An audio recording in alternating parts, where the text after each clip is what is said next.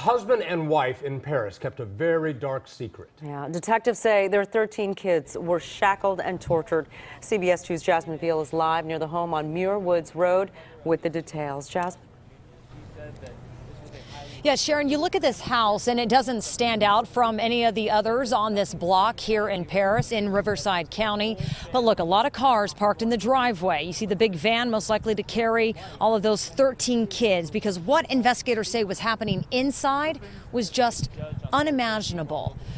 Now the parents accused of torture and child endangerment. Take a look at some posts on social media. You have pictures here showing this big happy family, uh, the 13 kids with their parents in Vegas where they renewed their vows. Another picture of them on vacation dressed in matching outfits. But investigators say on Sunday they found several of David and Louise Turpin's children starving, shackled to beds with chains and padlocks in dark and foul smelling conditions.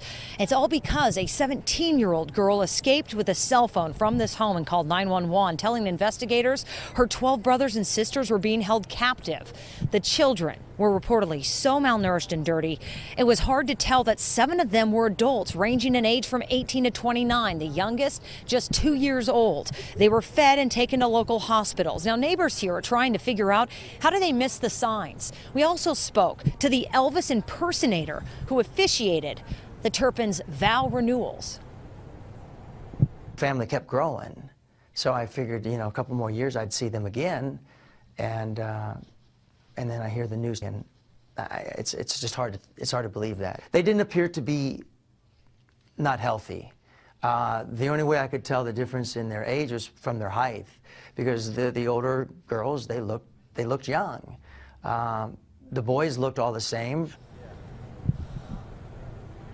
According to the California Department of Education, the home where they lived was registered as a non religious private school called Sandcastle Day School with six students enrolled this year. It shows David Turpin, the dad, listed as the principal, and also that one student graduated in 2016. And coming up later this morning at 10 o'clock, we're going to hear from the sheriff's department in a press conference about uh, the horrors that they say was happening inside of this house. More on the investigation. We're going to have that at CBSLA.com. Also uh, on our Facebook page. Meantime, you have the Turpins, each being held on $9 million bail.